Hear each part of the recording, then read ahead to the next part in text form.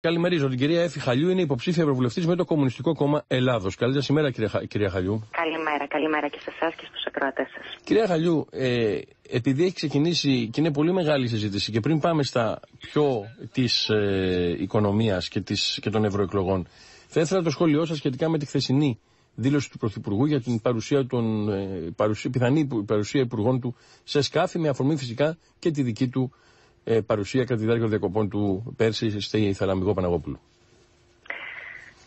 Είναι, είναι το ίδιο έργο που έχουμε ζήσει. Να κουβεντιάζουν οι δύο διεκδικητές της διαχείρισης της εξουσίας για το ποιος είναι ο πιο ηθικός, ο πιο ικανός, ποιος πηγαίνει σε καλύτερα κότερα, ποιος είναι από πλούσια ή από αντιστασιακή οικογένεια. Είναι μια κουβέντα που γίνεται και ουσιαστικά κρύβει την ουσία, την πολιτική ουσία, ότι δηλαδή αυτοί οι δύο και η Νέα Δημοκρατία και ο ΣΥΡΙΖΑ συμφωνούν στο βασικό, στη στρατηγική υπεράσπισης δηλαδή των συμφερόντων όλων αυτών που έχουν τα κότερα της αστικής τάξης, ότι συμφωνούν με τις κατευθύνσεις τους, συμφωνούν με τις κατευθύνσεις της Ευρωπαϊκής Ένωσης, με το τσάκισμα το δικό μας, των εργαζόμενων, του λαού και όλα αυτά γίνονται στο όνομα της ανταγωνιστικότητας και της κερδοφορίας προφανώς του κεφαλαίου. Εμείς λέμε, κύριε Νότι, ότι αυτές ακριβώς οι πολιτικές, αυτές οι τακτικές δεν μπορούν να ενδιαφέρουν, δεν μπορούν να αφορούν το, το λαό μας, τους εργαζόμενους. Άρα θεωρούμε και γι' αυτό το έχουμε πει και σε κάθε, με κάθε τόνο ότι είναι μια αειδιαστική παράσταση που παρακολουθούμε όλες αυτές τις μέρες και στη Βουλή και, και χθες και, και από τα κανάλια μια εμετική αντιπαράθεση μεταξύ των δύο και με επικεφαλής τον κύριο Τσίπρα και τον κύριο Μητσοτάκη αλλά και τους υπουργούς τους. Τσακώνονται ε, ουσιαστικά για να κρύψουν τη σύμπλευσή τους. Τώρα, κυρία Χαλιού, ε, σχετικά με το θέμα της, ε, που, έχει εγερθεί με, με το θέμα της ε, επτάημερης ε, λειτουργίας ενός εργοστασίου κλπ. Ε, είναι τόσο τραγικό, είναι τόσο κακό να δουλεύει μία μονάδα αν χρειαστεί 7 μέρες την εβδομάδα, 24 ώρες το 24ωρο, από τη στιγμή που αυτό, όπως στην περίπτωση Παπαστράτου, οδηγεί και με τη συμφωνία των εργαζομένων βέβαια αυτό οδηγεί σε λιγότερες ώρες εργασίας την εβδομάδα με τις ίδιες αποδοχές γνωρίζετε ότι η σύμφωνη γνώμη των εργαζόμενων μέσα σε, σε αυτή την εργασιακή ζούγκλα δεν μπορεί να είναι δημοκρατική, δεν μπορεί να είναι σύμφωνη γνώμη. Είναι επιβολή. Είναι, είναι επιβολή της ε, άποψης των ισχυρών. Τι θέλουμε να πούμε. Ε, και η Νέα Δημοκρατία και ο ΣΥΡΙΖΑ προφανώς που έχει ενισχύσει όλη αυτή την, ε, όλους αυτούς τους νόμους με τη διευθέτηση του χρόνου εργασίας, ενίσχυσε το αντεργατικό πλαίσιο, ουσιαστικά σβαράλιασαν τον εργάσιμο χρόνο. Επέβαλαν ε, νόμο για, όχι μόνο για τις 7 μέρες την, την εβδομάδα, επέβαλαν τους, ε, τις 32 Κυριακές το χρόνο, επέβαλαν 12 ώρη δουλειά στα νοσοκομεία, ας πούμε. Ε, επέβαλαν ε, ε δουλειά χωρίς ε, δικαιώματα για εργαζόμενους, για νέους, άρα και η αντιπαράθεση αυτή είναι ουσιαστικά ψεύτικη. Λέμε ότι μια επιχείρηση προφανώς θα θελήσει να δουλεύει όχι 24, 28 ώρες το 24ωρο.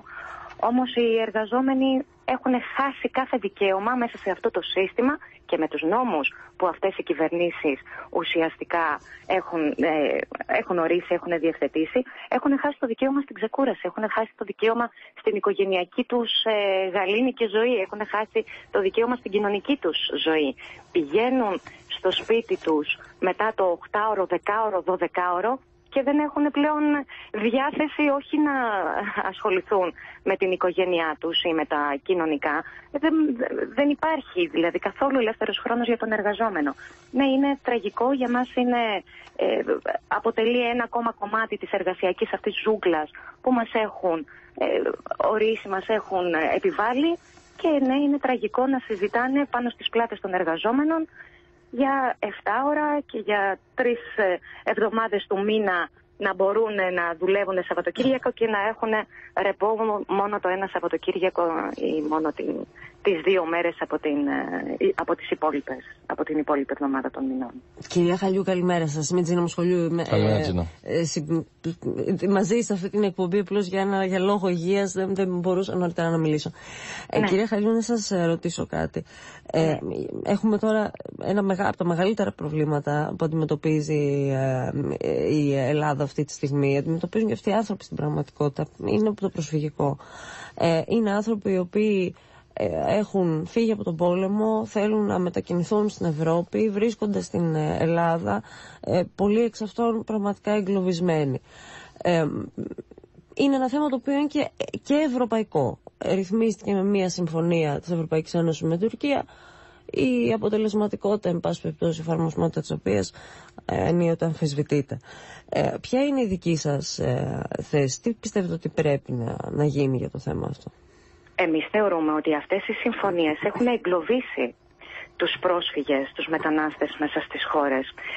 Μιλάνε για λάθρους ανθρώπους, μιλάνε για λαθρομετανάστες, μιλάνε για ανθρώπους που έχουν αναγκαστεί να φύγουν από τα σπίτια τους, από τις χώρες τους και να εγκλωβιστούν μέσα σε χώρες χωρίς δικαιώματα, χωρίς να τους δίνουν ε, ούτε καν την πράσινη κάρτα, χωρίς να τους δίνουν νόμιμα χαρτιά για να πάνε στις χώρες τις οποίες προορίζονται οι ίδιοι για να δουλέψουν, για να δουλέψουν με δικαιώματα. Εμείς θεωρούμε ότι έχουν βάλει στο χέρι τους και τα κόμματα αυτά και ο ΣΥΡΙΖΑ και η Νέα Δημοκρατία και το Κινάλ που έχουν στηρίξει όλες αυτές τις συμφωνίες, που έχουν φτιάξει μόργες, που έχουν φτιάξει τα hot spots που είναι πραγματικά ε, δεν ανήκουν στον 21ο αιώνα. Είναι σκηνές δηλαδή άλλων αιώνων και που κανονικά θα έπρεπε ο λαός όλα αυτά να τα κάνει κριτήριο και ο λαός των νησιών που έχουν τα, το, τα hot spots, αλλά και όλοι οι υπόλοιποι να τα κάνουν κριτήριο και για την ψήφο. Συνεπώς, και για την ψήφο στις ευρωεκλογές. Η θέση σας, αν καταλαβαίνω σωστά και συγγνώμη σας διακόπτω, απλώς ξέρετε, οι χρόνοι είναι συγκεκριμένοι στις προεκλογέ mm-hmm. και θέλουν να είμαστε παραγωγικοί. Βεβαίως πρέπει είναι... να τους δοθούν όλα τα νόμιμα χαρτιά για να πάνε στις ε, χώρες που θέλουν να πάνε για να δουλέψουν κανονικά. Να είναι βεβαίως και να μείνουν νόμιμοι. εδώ, άμα, άμα Βεβαίως, βεβαίως. Και ξέρετε, εργατικά χέρια χρειάζονται. Mm. είναι δηλαδή, αν ο, ο λαός μας ε, με και με τους πρόσφυγες μαζί και με τους μετανάστες ε, καταφέρει να παράξει όλα όσα μπορεί να παράξει και η χώρα μας προς όφελος, μπορεί να, να θρέψει γενιές και γενιές ανθρώπων και μάλιστα με την ικανοποίηση των αναγκών του ίδιου του λαού. Μάλιστα. Ε, τώρα ένα τελευταίο. Εμείς ε, θεωρούμε, εμείς θεωρούμε ότι όλη αυτή η τετραετία και όχι μόνο και τα χρόνια της κρίσης που ζήσαμε όλες αυτές τις πολιτικές που έχουν σμπαραλιάσει την ζωή μας, που, την εργασία μας, ε, που έχουν κάνει το Αιγαίο τάφο χιλιάδων προσφυγόπουλων, είναι κριτήριο για τις εκλογές. Άρα με αυτό το κριτήριο θα πρέπει και ο λαός να πάει στις ευρωεκλογές στις 26 του μήνα και όχι μόνο στις ευρωεκλογές και στις υπόλοιπες και στις τρεις κάλπες. Να μην τσιμπήσουμε στα ψευτοδιλήμματα που βάζουν και η Νέα Δημοκρατία και το Πασόκ ότι ο ένας θα διαχειριστεί καλύτερα τη μιζέρια, τη φτώχεια, την ανεργία καλύτερα από τον άλλον γιατί έχει, είναι πιο εκλεκτός από το κεφάλαιο ή θα φέρει τα καλύτερα αντιλαϊκά μέτρα για μας. Αντίθετα, εμείς θεωρούμε ότι πρέπει να ενισχυθεί, να δοθεί μια δυνατή απάντηση ένα μήνυμα δηλαδή λαϊκής αντεπίθεσης με την ενίσχυση του ΚΚΕ θα είναι μήνυμα αισιοδοξίας, θα είναι μήνυμα καταδίκης αυτής της πολιτικής και θα είναι εφόδιο η ψήφος στο ΚΚΕ για την ανασύνταξη και του εργατικού λαϊκού κινήματος για να μπορέσει να αντιπαλέψει και αυτά που έρχονται. Γιατί ξέρετε, τα μεταμνημονιακά αντιλαϊκά μέτρα δεν έχουν τέλος. Ήδη και την προηγούμενη εβδομάδα. να κλείσουμε.